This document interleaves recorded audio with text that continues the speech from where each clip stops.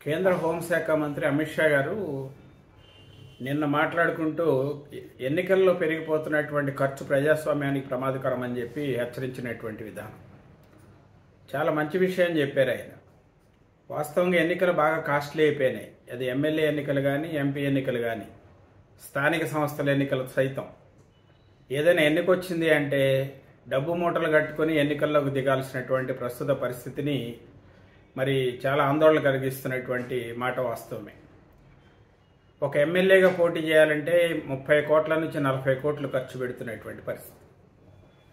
ఒక ఎంపీగా పోటీ చేయాలంటే వంద కోట్ల నుంచి నూట యాభై కోట్లు ఖర్చు పెట్టాల్సినటువంటి పరిస్థితి. ఇంత పెద్ద మొత్తంలో డబ్బులు ఖర్చు పెట్టి అవినీతి లేని పరిపాలన కావాలని కోరుకోవటం కూడా ప్రజలు సరైనటువంటిది కాదు సహేతుకం కాదు. ఈ ఎన్నికల్లో డబ్బు యొక్క ప్రభావాన్ని నియంత్రించటం ఎలా? ప్రజలు డబ్బు ఆశ చూపించి వాళ్ళకి డబ్బులు ఇచ్చి ఓట్లు వేయించుకుని తర్వాత వ్యాపారాలు చేసుకుంటూ కోట్లు సంపాదించుకుంటున్నటువంటి రాజకీయ నాయకులు తప్ప రాజకీయ నాయకులు డబ్బులు ఇస్తున్నప్పుడు వీళ్ళు మనకు సేవ చేయడానికి కదా వచ్చారు. మరి ఈరోజు డబ్బు తీసుకుని ఓటేస్తే వాళ్ళు ప్రజా ప్రజాసేవ ఎలా చేస్తారు అభివృద్ధి ఎలా చేస్తారు అనేటువంటి ఆలోచన ఓటర్లకు ఉండాలి కదా. మరి ఓటర్లు తప్ప. అవినీతి గురించి ఒకప్పుడు అవినీతి సంఘటన ఏదైనా జరిగితే అది చాలా పెద్ద విషయంగా జనాల్లోకి పోయేది. అనేక కుంభకోణాలు బోఫర్స్ కుంభకోణం కానీ లేకపోతే ఫెయిర్ ఫ్యాక్స్ కుంభకోణం కానీ గతంలో ఇండియన్ ఎక్స్ప్రెస్ లాంటి నేషనల్ మీడియా ఏదైనా కుంభకోణాన్ని కనుక బయట పెడితే కేంద్రంలో ఉన్న ప్రభుత్వాలు కూలిపోయినటువంటి పరిస్థితి.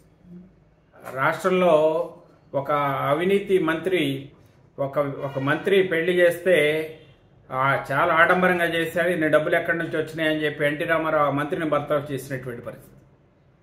అంటే ఎన్నికల్లో కాస్త కోస్తో నీతి కలిగిన వాళ్ళు కాస్త నిజాయితీ పరులు అవినీతికి దూరంగా ఉండేటువంటి వ్యక్తులు ఒకప్పుడు ఎన్నిక కాబడతా ఉండేవాళ్ళు. కాబట్టి ఎక్కడన్నా అవినీతి జరిగింది అంటే ఒక పెద్ద చర్చనీయాంశం అయ్యేది.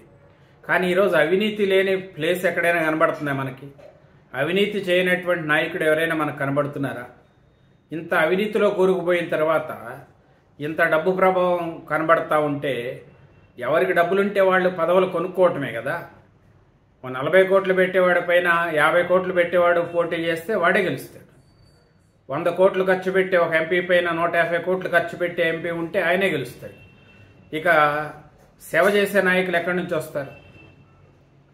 ఇన్ని డబ్బులు ఖర్చు పెట్టి ఎన్నికల్లో గెలిచినటువంటి వ్యక్తి సేవ ఎందుకు చేస్తారు?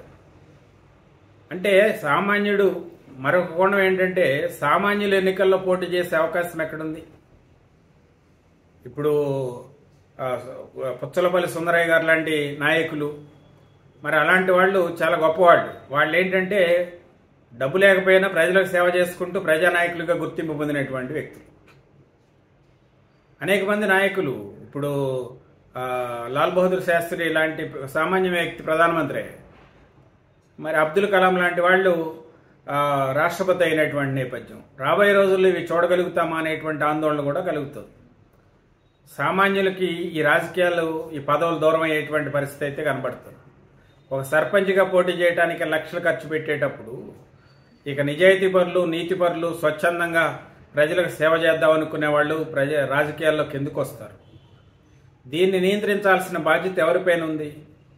ఎలక్షన్ కమిషన్ టిఎన్ శేషన్ గారు ఎలక్షన్ కమిషన్ ఎలక్షన్ కమిషనర్గా ఉన్నప్పుడు కొంతమేరకు ఈ డబ్బు ప్రభావాన్ని ఆయన తగ్గించగలిగాడు.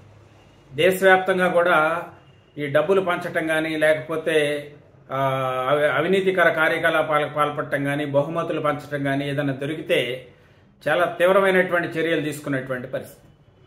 ఆ తర్వాత ఎలక్షన్ కమిషనర్లు ఎంతమంది వచ్చినా కూడా ఎన్నికల కమిషన్ నిబంధనలు తొంగలో తొక్కి ఎవరిష్టం వచ్చినట్టు వాళ్ళు విచ్చలవిడిగా మద్యం పంచుకుంటూ విచ్చలవిడిగా డబ్బు పంచుకుంటూ విచ్చలవిడిగా రాజకీయాలు చేస్తా అంటే అన్ని వ్యవస్థలు కూడా చోద్యం చూస్తా కూర్చుంటున్నాయి.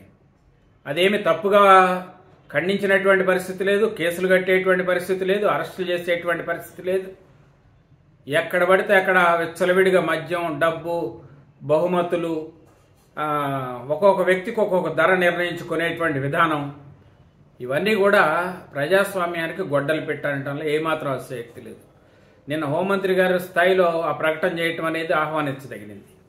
కేంద్ర హోంమంత్రిగా ఆయన బాధ్యత తీసుకుంటే దీన్ని ఎంతో కొంత కంట్రోల్ చేసేటువంటి అవకాశం ఉంది.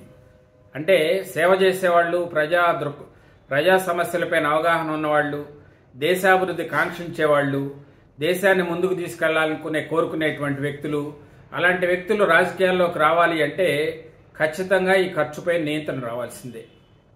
మేధోమదనం చేసేవాడి దగ్గర డబ్బులు ఉండవు జ్ఞానం కలిగిన వాడి దగ్గర సంపద ఉండకపోవచ్చు. జ్ఞానం కలిగిన వాడు ఇప్పుడు రాజకీయాలకు దూరం అయిపోతున్నాడు మేధోమదనం చేయగలిగే శక్తి సామర్థ్యాలు ఉన్న వాళ్ళు రాజకీయాలకు దూరం అయిపోతున్నారు దిగజారిపోతున్నటువంటి విలువలు విచ్చలవిడి మద్యం విచ్చలవిడి ధన ప్రవాహం ఈ ప ఈ పరిణామాల నేపథ్యంలో అక్రమంగా డబ్బులు సంపాదించే వాళ్ళు రౌడీ షీటర్లు గూండాలు తప్పుడు పనులు చేసేవాళ్ళు అవినీతికి పాల్పడేటువంటి వ్యక్తులు మాత్రమే రాజకీయాల్లో మిగిలిపోయేటువంటి పరిస్థితి అయితే ఖచ్చితంగా కనబడుతుంది. మరి దీనికి అడ్డుకట్ట వేస్తేనే ప్రజాస్వామ్యం పరిడ పర ప్రజాస్వామ్యం నాలుగు కాలాలు పట్టకట్టి బతుకుతుందని మనం చెప్పుకోవచ్చు.